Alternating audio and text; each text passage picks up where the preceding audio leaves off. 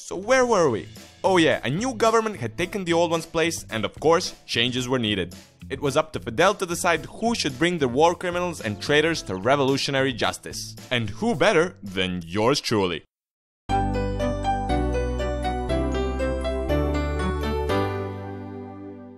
One thing you have to understand is that at this point in time, Fidel, as well as a lot of his men, weren't as communist as everyone thought. On the other hand, Che couldn't be more communist even if he tried. And yeah, the US didn't really like this. Castro wasn't stupid though, he wasn't going to make enemies with a neighboring megapower after a month or two in charge. He needed to distance himself from Che, so he sent him to all sorts of diplomatic missions around the globe for a few months. The world was to get a glimpse of the charming Cuban revolutionary for the very first time. The Soviets particularly liked Che and he managed to forge an alliance of sorts. Weaponry and oil became plentiful. Upon his return, Ernesto was given several key roles. While Minister of Finances, he signed Cuban banknotes with just Che, wanting to show his indifference towards money. Think of a regular dollar bill. Now think of a dollar bill with bro written in the corner. Not two years had passed and Cuba had nationalized all foreign companies. As you might expect, most of these companies were owned by the US the Cubans figured it was the only way for them to be independent, as if that's possible. The Americans had had enough. All diplomatic relations were severed, and actually still were till 2015. It had been decided uncontrollable Fidel must be eliminated, along with Che and Raul. The CIA managed to send trained Cuban refugees back to Cuba in an attempt to overthrow Castro. The Cubans, not the US trained Cubans, the Cubans living in Cuba, however, fought them off and captured a lot of them. So yeah, a small two-year-old state managed to defy the odds against the most powerful country in the Western world. This so-called Bay of Pigs invasion was kind of an embarrassment for the US at the time. Che sent a letter to Kennedy a couple of days later. Thanks for the Bay of Pigs. Before the invasion, the revolution was shaky. Now it's stronger than ever. Even some Soviet nukes were to be brought to Cuba. It was no big deal though, except like the apocalypse that could have happened. But nobody was too keen on a nuclear war, except maybe Che. He was kind of pissed at the Soviets for the whole thing falling apart. To Guevara, liberation from imperialist aggression could have justified a couple of million dead from an atomic war. That's how much Che was passionate about his ideology.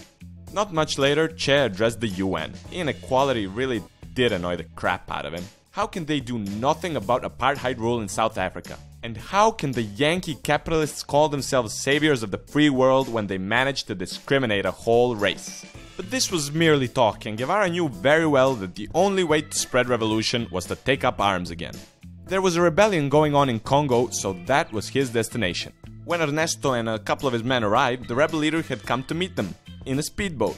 This wasn't just your ordinary everyday African rebel speedboat, though. It was a speedboat with a couple of prostitutes, several bottles of whiskey, and a drunk rebel leader in the driving seat.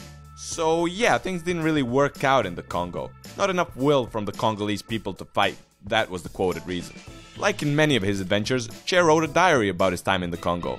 It began with, This is the history of a failure. Guevara managed to barely escape with his life just 10 months after his arrival, though quite a few of his men weren't as lucky. While he was still in the Congo, Che sent a letter to Fidel. The letter was to be opened in case Che was killed, but since nobody seen or heard from him, Fidel decided to open it anyway and read it to the people. In this letter, Che said his goodbyes to the Cuban people and renounced his Cuban citizenship. His fight there was finished, but his fight for the revolution was not. So now that his letter was made public, he couldn't return to Cuba, not even for vacation. A new identity and a ticket for Bolivia. Although he shaved his beard, the CIA still found out where he was, and by this time the CIA really didn't like Che at all. The Bolivian forests didn't do him any favors either. He didn't get the local support he got in Cuba. Even the Communist Party there broke his heart. The Bolivian army wasn't really capable of hunting him down. The CIA trained Bolivian army, though, was more than capable. On October 7th, 1967, they got him. They finally got him. They captured him and awaited instructions. His head held high, Che only asked for something to smoke. The Bolivian president was afraid of Che's influence and figured it was best to just kill him. No shots to the head, Che was to be killed in action. And so he was, tied and unarmed in a barn in the middle of nowhere, died choking on his own blood. He didn't claim he was immortal, he just claimed the revolution was. The world symbol of the possibilities of one man.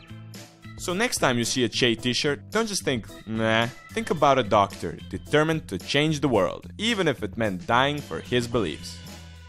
Be sure to like and share the video if you enjoyed it, and don't forget to subscribe. See you next week!